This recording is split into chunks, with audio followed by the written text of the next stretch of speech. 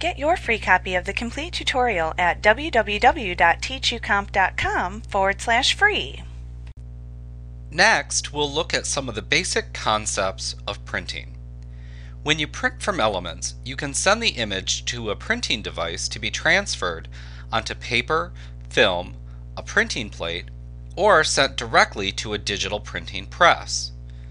When you print a complex graphic, in order to create the illusion of continuous tones when printed, images are broken down into a series of dots.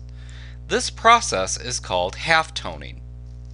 When you change the sizes of the dots in a halftone screen, it creates the illusion of variations of gray or continuous color in an image. When you are having it printed in a commercial printing situation, each color in the image must be printed on separate master plates. This is the process of color separation and typically uses CMYK inks. To print your image to your default printer, select File and Print from the menu bar.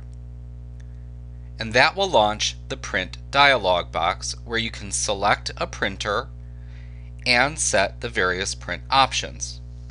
Now depending on the version of elements you're using, your dialog box may look a little bit different, but you will still have the same choices to print your image. Here in the left pane, you can select to add or subtract photos to your print job by clicking the Add and Remove buttons at the bottom left corner of the screen. If you click Add, you can choose to add photos that are currently in the browser, an entire catalog, or album by simply clicking on those choices here.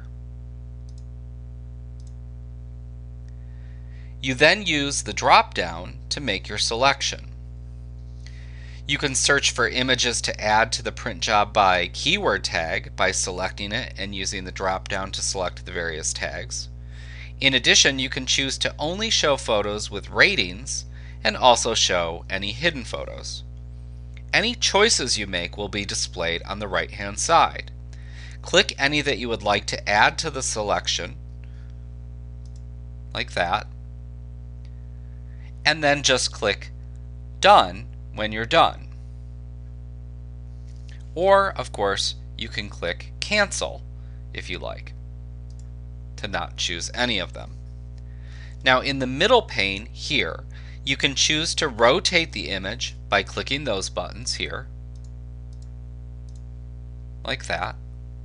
You can move the image around by clicking and dragging it around. And you can also scale it by using the slider. In the right pane, over here, is where you make your printing selections. First, select your printer using the drop-down. You can keep the current printer settings or click Change Settings over here. And here you can make advanced changes such as print quality, etc. Click Cancel. Next, you select a paper size. Then you select a type of print individual picture package, or contact sheets. Then use the drop down to select a print size.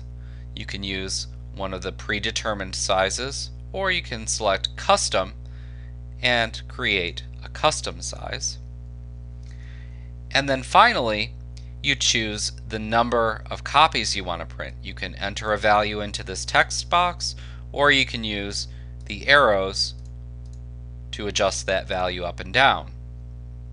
Now if you click the More Options button down here at the bottom, then you can set some advanced printer options if you're familiar with them. You would click on the choices here on the left and you could adjust your color management and so forth if you're familiar with those types of things.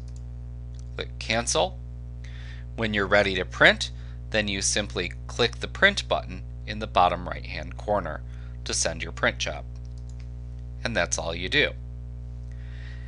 Now sometimes, depending on the images that you've chosen and the options that you've chosen, you might get a print warning dialog box like we see here. In this case, the following images will be rendered at less than 220 dpi at the requested print size. To continue, you would select continue and your print job would be sent.